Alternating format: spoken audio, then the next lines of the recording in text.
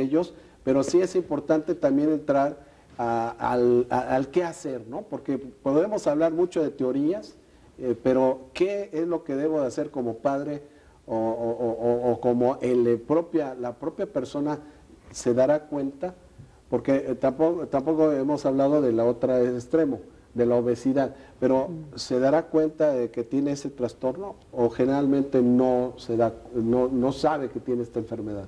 ¿Es una enfermedad a propósito? Sí, eh, es una enfermedad como tal, como enfermedad que es, implica una pérdida de salud, la salud emocional, y también puede llevar consigo, una anorexia que puede tener una parte de depresión.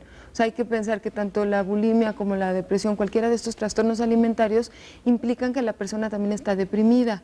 Eh, pero efectivamente en esas pacientes hay una gran capacidad para negar que padecen este trastorno. Entonces las anoréxicas dicen, no, yo no estoy tan delgada, pues además ellas se ven al espejo y no se ven, no se ven tan delgadas como están, entonces lo que dicen es, la gente no sabe, o sea, me ven más delgada de lo que realmente estoy, yo como bien.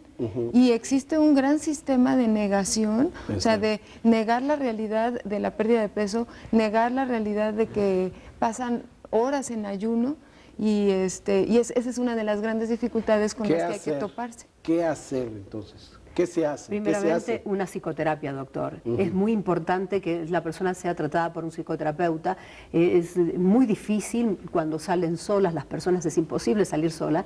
Es una adicción a esta conducta, es una conducta ya tan afianzada que no puede quedarse con el alimento, en este caso ni la bulima ni la anorexia.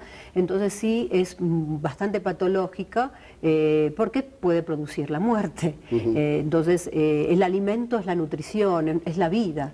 Por lo tanto, si no se acerca y tiene una conducta este, higiénica hacia el alimento, obviamente se va a enfermar.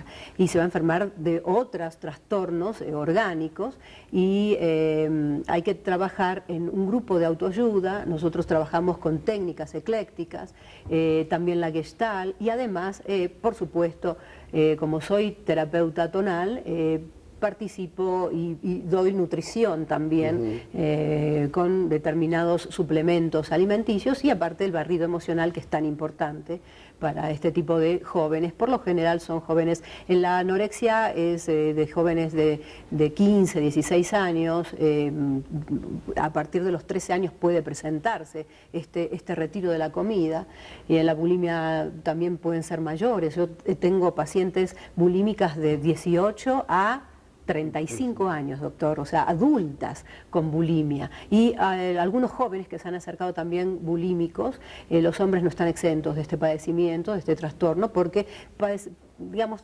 pertenecemos a una sociedad que estamos en contacto con, los otros que son delgados y desgraciadamente nos han impuesto mucho este, toda la publicidad, el bombardeo publicitario es terrible, como que si no sos delgado no, no, no vives, no sirves. Eh, ahorita vamos a tomar eh, y vamos a ver eh, esto de la terapia que aquí se ha comentado mucho, la terapia floral, barrido emocional, lo vamos a retomar porque estos, precisamente estos eh, frascos que usted ya reconoce y que muchos de ustedes ya lo han practicado y que ya me dan muy buenos este, ahora sí, eh, comentarios de los resultados que hemos recibido, yo me incluyo entre ellos, eh, en, el, barrido emocional.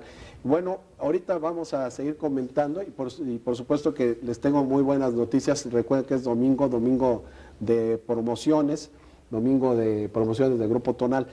Eh, en, estos eh, tratamientos, se habla de psicoterapia, ¿qué otras gestal, por ejemplo, qué otras alternativas tienen estos pacientes?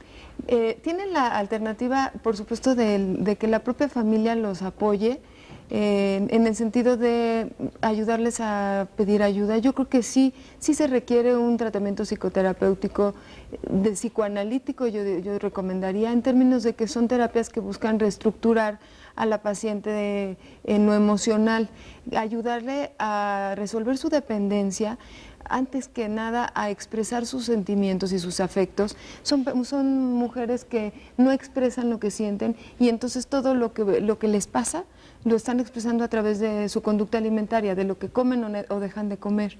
Entonces necesitan eh, tener un espacio donde aprendan a ponerle nombre a lo que sienten, aprendan a expresarlo, a, decirlo sin, vergüenza, sin sentir que serán juzgadas, porque son personas que se juzgan muy severamente a sí mismas, que la propia familia las juzga muy severamente si tienen exceso de peso eh, o si no están siguiendo con sus dietas. O sea, paradójicamente, la familia se preocupa por la pérdida de peso, pero en algún momento también reforzó estos, eh, estos patrones de dietas. Mm. Entonces, creo que sí es importante una psicoterapia de este tipo que les ayude a expresarse, a saber qué es lo que sienten, a encontrar una verdadera independencia. O sea, la independencia no se la da ¿Qué la es la gestal?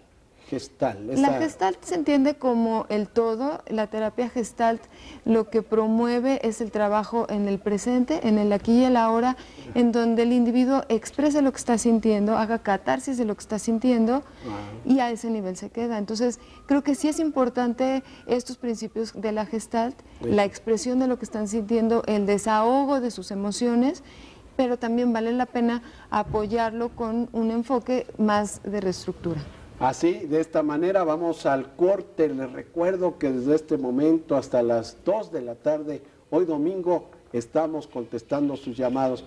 En los alimentos, recuerden, los alimentos de la articulación, promoción todavía. Y regresamos.